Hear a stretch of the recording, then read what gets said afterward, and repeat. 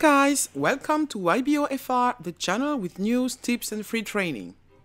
Today we will talk about managing services in Odoo V9. There are quite a high number of changes done in Odoo V9.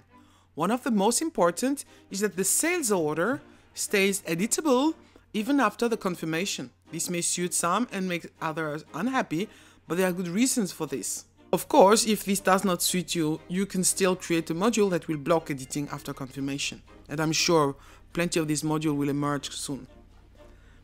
For the newly created process of managing the services, it was necessary to allow the addition of confirmed order. And I can assure you that all service companies will love this new feature. So let's jump on the demo. I create a service product as I create it, a new field appear and this field is called track service. And also the field invoicing policy used not to be on the form, product form, but now it is and for a very good reason. In the invoicing policy, I can define how I will invoice my service based on sales order, based on what was delivered or time and material. We will see the first two invoicing methods in the demo. The other element is the track service. This is very new. It tells you how you're going to track the services delivered. Will it be manually or via timesheet or will you create a task and track hours on the task? First, let us have a look at the invoicing policy. I set the invoicing policy to ordered and save my product. Now I can create a sales order. I want to sell some units of my service. I enter the quantity and I save and I can confirm. When I confirm, you see that the create invoice button became blue. It means that this is the standard process. Of course, if it's still active, you can use it. It's just not the standard process. So I press the button and select invoice, invoiceable lines and see there the system has created an invoice for the quantity I gave before.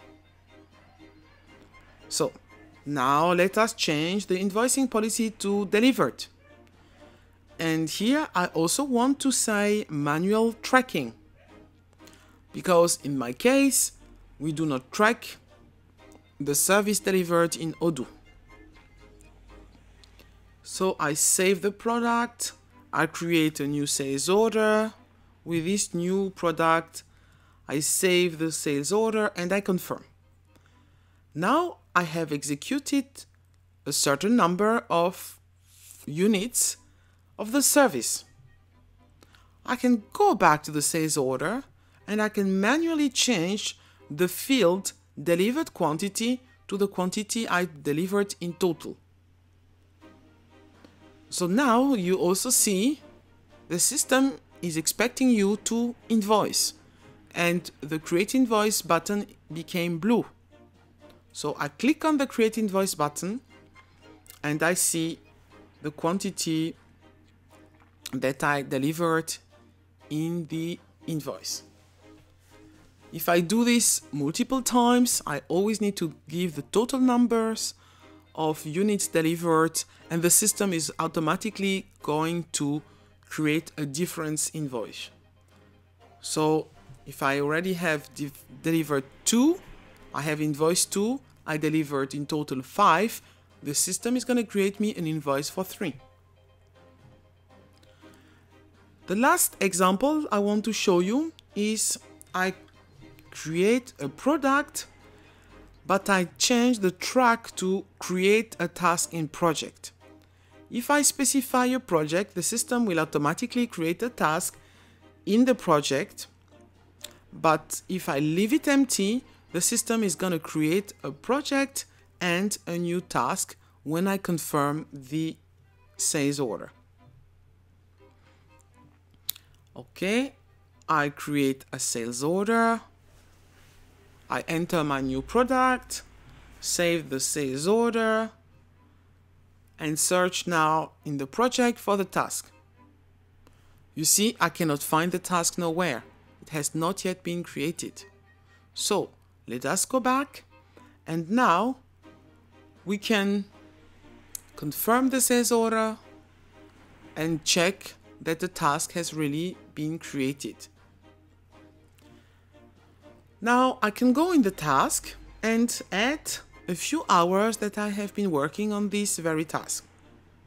I save it and when I go back to the sales order, you can see that the hours delivered are automatically updated. So it's very, very convenient to see this directly on the sales order. You don't need to think and discuss uh, with people or put together invoices to know exactly how much you have you have already invoiced. Everything is visible on the same screen. So of course, Odoo invoicing for services goes much further than that, but it was just to give you small information about what is new and all the service company that were not sure if they want to move to Odoo version 9 can be reassured that with the Odoo version 9 it's going to be much easier for them to manage invoicing. That was it for today. I hope you enjoy the show. To get more out of Odoo, check out our Udemy trainings.